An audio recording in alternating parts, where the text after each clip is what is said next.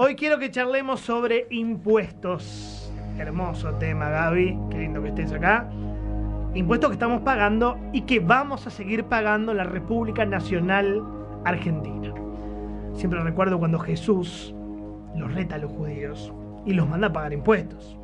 Los judíos le dicen, maestro, tenemos una pregunta acá para hacerte.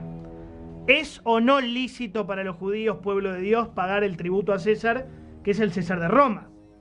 Y Jesús le dice, macho, a ver la moneda con la que pagan el tributo, y ellos le muestran el denario, que era la moneda del Imperio Romano. Entonces Jesús le dice, ¿de quién es esta imagen y esta inscripción? Del César, le contestan. Entonces no es muy complicado. Dad a César lo que es de César y a Dios lo que es de Dios. Lo que estaba diciendo Jesús es, muchachos, no jodan, separen religión del Estado, Dios por un lado, el César por el otro. Pero ¿sabes qué? Nunca dejen de pagar impuestos. Y parece que en la Argentina lo tomamos muy en serio para enfatizar que coincidimos todos, coincidimos todos, es que no vamos a permitir aumento de impuestos, no vamos a hacer aumento de impuestos en la ciudad. Lo estamos totalmente coordinados los cuatro gobernadores de Juntos por el Cambio. Eso quiero que quede bien claro y lo repetí varias veces. Gracias. Señores, la Argentina, trabajás, impuesto, producís, impuesto, viajás, impuesto, ahorrás, impuesto, tenés un auto, impuesto, compras dólares, impuesto, y ahora se viene uno nuevo, en minutos nomás. Te morís y dejas una herencia. Impuesto. Qué gobierno horrible es el de Alberto Fernández, por el amor de Dios. ¿Qué va a pasar en, yo te diría, dos horitas en Casa Rosada? El gobierno, Alberto y Cristina, van a firmar la renovación que se llama el pacto fiscal. Pacto fiscal. Pacto para serrucharte todo, ¿no? ¿Qué hace ese pacto fiscal? Te lo traduzco en castellano básico. Habilita a las provincias, bueno, a aumentar impuestos claves. Ingresos brutos, sellos, impuesto automotor, impuesto inmobiliario. Pero además he aquí que impulsa a las provincias a crear nuevos impuestos. A la herencia, a las donaciones y a los legados. Señores, han cantado bingo en la sala. ¿Cuánto más piensa recaudar el gobierno con esto? La suculenta cifra de 70 mil millones de pesos extra. Ahora, ¿cuál es el dato político? El único distrito que no adhiere a esto es la ciudad de Buenos Aires. Por eso lo escuchabas a Rodríguez Larreta decir nosotros no firmamos nada. O sea, van a estar todos los gobernadores menos Rodríguez Larreta. De hecho, hay tres provincias gobernadas por los radicales. Oposición, radicales son ¿Los radicales son de la oposición? No, no, a veces se me confunde. Que firmaron el pacto fiscal. Jujuy, Gerardo Morales. Yo no. Viste que Morales a veces está con Lavania, con Massa. Yo no, no me pierdo con Gerardo Morales. Ahora es opositor Morales. Bueno. En Corrientes, Gustavo Valdés. Y en Mendoza, Rodolfo Suárez. Se ve que los muchachos son radicales, pero no boludos. Y quieren recaudar para sus provincias. Yo me acuerdo de Morales, se la pasaron en la campaña jurando y perjurando y recontrajurando que no iban a aumentar impuestos. Son unos mentirosos. Son unos... Primero, son unos mentirosos. Y segundo, son insaciables. Son insaciables. ¿Vos sabés que nunca en la historia de Argentina la gente estuvo tan asfixiada para pagar impuestos como hoy al pedo total porque no sirven para nada? Dato. Un trabajador asalariado formal en la Argentina vos que nos estás escuchando, señor tachero que estás todo el día laburando, tenés que pagar, tenés que trabajar entre 180 y 214 días por año para cumplir con todas las obligaciones tributarias de los tres niveles de gobierno. O sea, tu famoso día de la independencia tributaria que tantas veces explicamos acá, llega entre el 28 de junio y el 1 de agosto. Para que lo entiendas más brutal, vos trabajás la mitad del año para el Estado y la otra mitad para vos y para tu familia. Pero ellos quieren más. Ellos quieren exprimirte, quieren sacarte absolutamente todo. Te esforzaste toda la vida. Te compraste un autito. Cometiste el crimen de comprarte un auto. Te compraste un terrenito.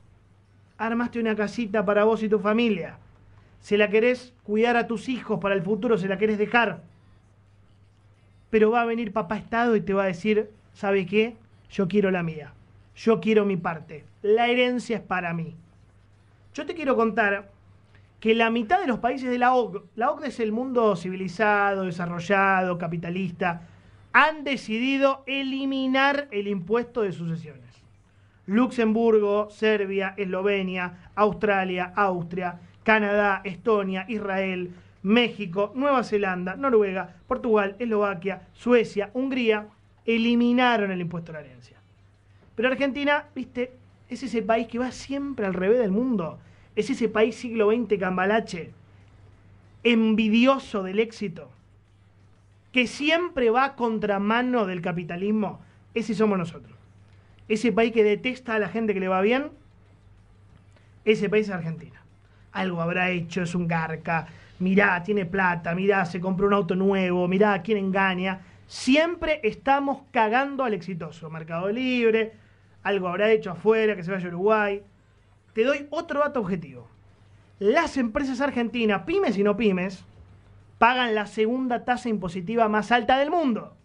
Y después quieren inversión. ¿Dónde inversión?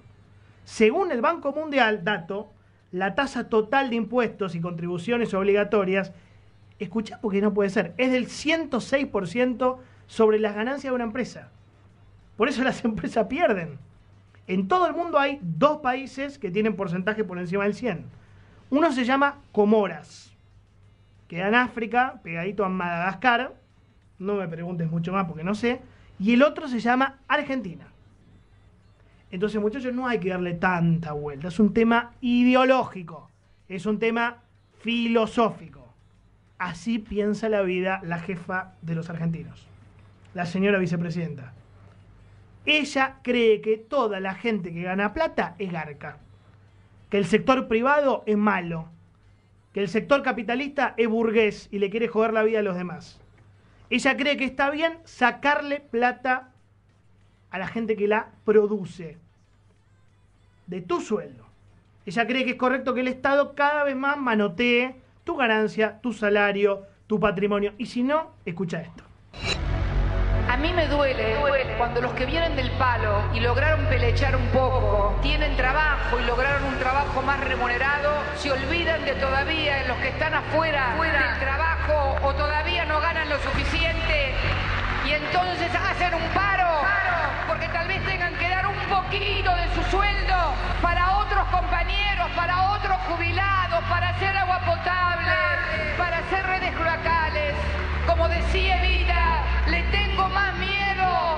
frío de los corazones de los compañeros que se olvidan de dónde vinieron que al de los oligarcas.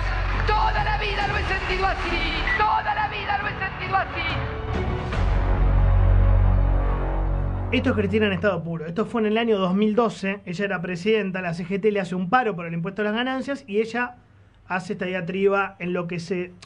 loca, una, una locura, ¿viste? Violenta, fea, fuera de lugar. El problema es que Cristina miente, miente en ese enunciado. Primero, en ningún país del mundo el Estado se mete con las ganancias de un trabajador.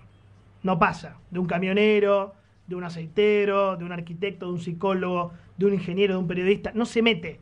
Con los trabajadores no. Con los empresarios que ganan mucho dinero, sí. Con los monopolios, sí. Con los trabajadores, no. Nunca se graba la ganancia de un laburante. Acá en Argentina, sí. Le sacan plata a un jubilado. Le sacan ganancias a un jubilado. Único en el mundo, ¿eh? A un camionero. Tipo que labura, no sé, 16 horas por día. Y segundo, otra mentira más de ese enunciado enloquecedor es mentira lo que dijo Cristina, que esa plata va a las jubilaciones. O a mejores jubilaciones, o a rutas, o a autopistas, o a puentes, o a gasoductos, o a hospitales públicos. Es mentira. La plata que nosotros pagamos en impuestos nunca se traduce en mejores servicios, nunca. ¿La educación pública es mala o es buena? Pregunto. ¿La salud pública es mala o es buena en Argentina? ¿La seguridad pública es mala o hay que contratar seguridad privada? la policía es buena o es mala? En serio, con una mano de corazón. Yo sé que ellos son buenos y trabajan, pero la calidad del servicio, lo que vos pagás, lo que ellos te devuelven. Hay relación. La obra pública es buena o es mala, o es nula. Entonces, es toda una gran falacia esto del Estado presente. ¿Sabes en qué se gasta la plata del Estado Nacional? Clarín de ayer domingo, no sé si lo vieron. Los subsidios de aerolíneas argentinas le costaron al Estado 669 millones de dólares en 2021, la cifra más alta en ocho años. Números groseros, ¿eh? Subsidios totales, Aerolíneas Argentinas 2021, 63.500 millones de pesos. O sea, 176 millones por día. Tomados a tipo de cambio oficial porque somos buenos, dólar mayorista 95, son 669 millones de dólares. Es decir, 1.850.000 dólares por día al 26 de diciembre. Esto se lo queda a la cámpora. Esto se lo queda al señor Pablo Seriani, divino, un funcionario que responde a Mariano Recalde, no tengo nada en su contra, pero es caja para ellos. Dato, desde que el kirchnerismo ha restatizado aerolíneas, el Estado ya puso 7.200 millones de dólares. Piénsenlo. Pensemos en qué gasta el Estado nuestra plata, o sea, cinco veces las reservas netas del Banco Central. Aerolíneas argentinas. ¿Vos te das cuenta que algo anda mal en la administración de nuestros impuestos? Un dato para que entiendas lo que es aerolíneas. Aerolíneas Argentinas tiene 1.400 empleados por cada 1.000 pasajeros transportados. American Airlines, por tomar una cualquiera, tiene 600 por cada 1.000 pasajeros transportados. Lufthansa, por tomar otra, tiene 700. LATAM tiene 800. O sea, mientras sostenemos esto, vos tenés 19 millones de pobres. Y tenés más de 4 millones de argentinos que no morfan todos los días. Entonces yo digo que la administración de la cosa pública en Argentina es inmoral. En esto coincido con mi ley y con experto. ¿Cómo gasta el Estado nuestra guita? Es inmoral habiendo en la Argentina 19 millones de pobres y casi 5 millones de gente que no morfa. Vos no podés patinarte toda esta guita en una aerolínea. No podés. Siendo que había un mercado low cost que estaba empezando lentamente a aparecer, a progresar, a competir. Pero ¿sabes qué? El kirchnerismo odia la competencia. Ellos hablan del monopolio. Mentira. Le tienen pánico a la competencia. Compitan aerolíneas argentinas. Salgan a la cancha a competir con menos subsidios. ¿Para qué quieren más impuestos si 44% del país es pobre y 8% es indigente?